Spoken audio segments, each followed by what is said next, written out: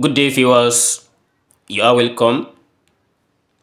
Let's solve these functional equations. We have f of x equals x cubed divided by 3 plus x squared plus x. And what is the inverse of this function? So let's solve this problem step by step. First, we want to find f inverse of x. Let's try and understand this function. Since f here is a cubic function with the power of 3 and let's say it's a cubic polynomial and we can get a simple algebraic expression for f of x for f inverse of x like this and which will be in a general form of solving the cubic equations so the only thing we can do is we have to understand the domain and the monotonicity of this. If it is monotone or and the concept of the domain of it. So in the first step, let's say I consider finding the derivative of this function. For the derivative of this function, we are going to have f inverse f prime of x equals Differentiating this, we have 3x squared divided by 3 plus 2x then plus 1. And in the next step, we are going to have f inverse of x equals when 3 cancelled 3, we have x squared plus 2x plus 1 here is the derivative of the function. And in the next step let's say I write this x squared plus 2x plus 1 as x plus 1 raised to the power of 2 it's still the same thing. So this is telling us that for every f inverse f prime of x this is always greater than or equals to 0 and for all x. Any value of x that we plug in here it will always be equals to positive and uh, or it is equals to 0 so if we test for when x equals to minus 1 here that is only where we have 0 the other values always give us positive. If we test for x as negative it always gives us positive because of this squared. So therefore at x equals minus 1. So this is the only the point that we are going to have is 0. So therefore, let's check for substituting this x equals minus 1 into the original function. We have f of 1 equals, we have 1 cubed divided by 3 plus 1 squared plus 1.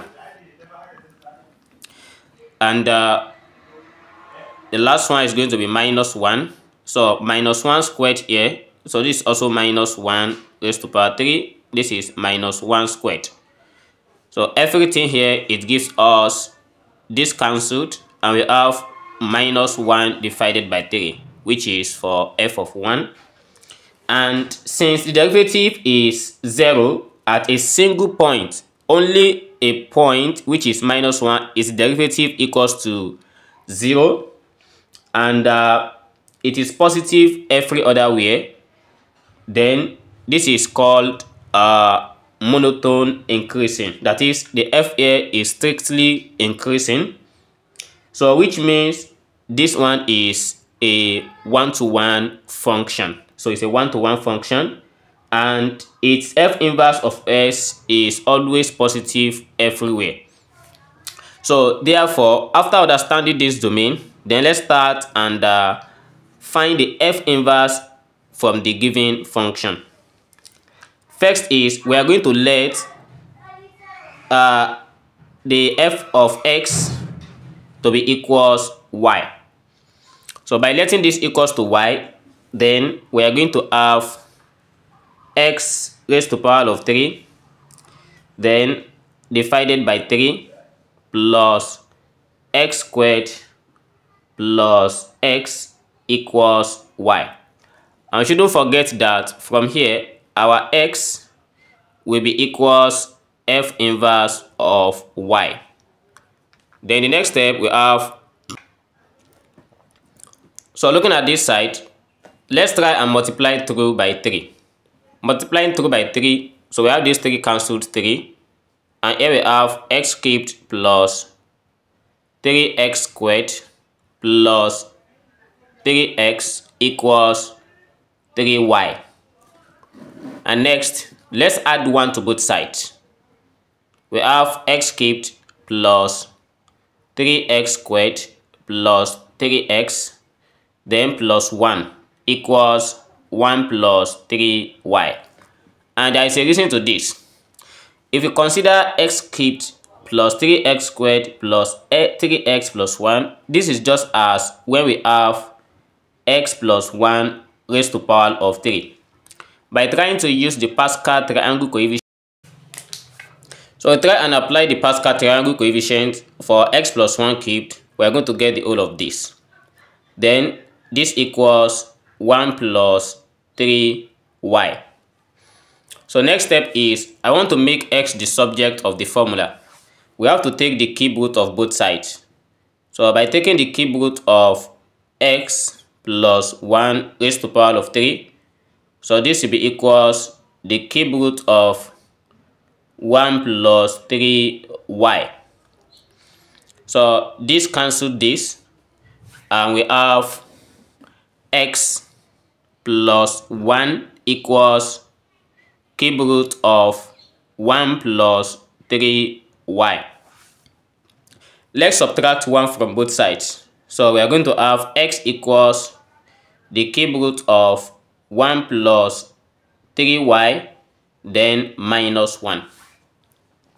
Initially, I let x to be equals f inverse of y. By replacing this, we are going to have f inverse of y equals, I want to write this as minus 1 plus the cube root of 1 plus 3y. And since we are looking for f of x, then let's change this y to x. And we have f inverse of x equals minus 1 plus the cube root of 1 plus 3x. And this function is valid everywhere any value that we plug in. So this is how to solve this problem and I solved it step by step. If you have any comments to give based on this problem or you have another method of solving this, you can just drop it in the comment box. And don't forget to subscribe to this channel. See you in the next video. Never stop learning. Bye bye.